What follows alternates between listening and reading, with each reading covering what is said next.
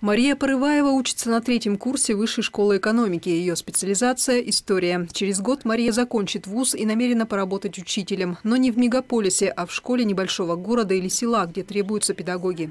Мне очень нравятся подростки. Это очень интересный возраст, сложный, но безумно интересный. И каждому можно найти подход и с ними очень здорово коммуницировать. Школа – это про любовь, это про поддержку, и школьный учитель тоже про это, про помощь, про веру в человека, про веру в ребенка.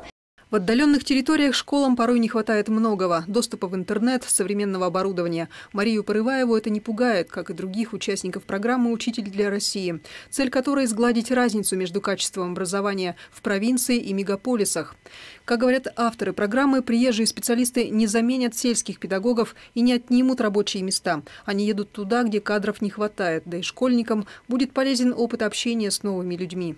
И ребятам очень важно показать, что у них есть возможности, что они могут э, переехать, они могут поступить. Им просто важно рассказать о том, что есть университеты. И вот он я из там, высшей школы экономики, из Санкт-Петербургского университета, там, еще из какого-то крупного, успешного университета, который часто для этих ребят, ну, это какой-то космос. А тут вот он, я к вам приехал, и вы тоже так можете.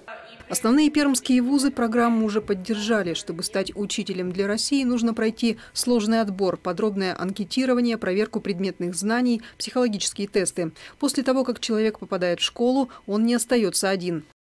В эти два года человек не только официально трудоустроен в школу и работает там учителем, но еще он получает большую поддержку от программы в виде методической поддержки. С ним работает методист, с ним работает куратор, с ним работает ментор.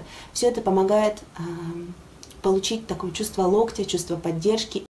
Участники программы получают и финансовую поддержку. К проекту присоединились уже семь регионов страны. Пермский край пока географически не входит в этот перечень, но несколько человек из Прикамья уже стали учителями России.